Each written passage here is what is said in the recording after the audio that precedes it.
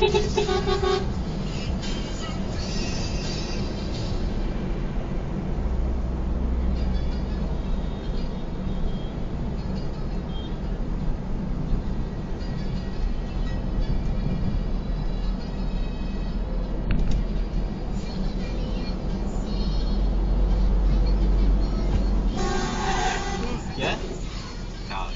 Chút xíu nữa. Chết rồi rồi đó. Đụng rồi. Có đụng không? Có.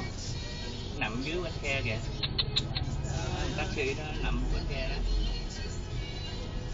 Mà lỗi của ai vậy? Lỗi thằng xe Honda à, chạy xe. mà ngu thiệt ngu.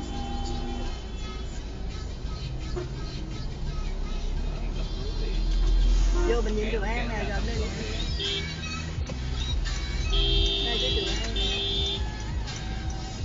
nó, quanh ẩu phải không nó qua đường ẩu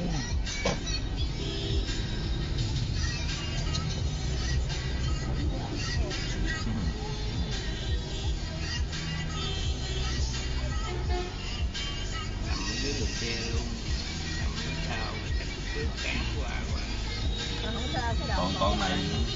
Bước cán này đây nè Con gái hả hai đứa là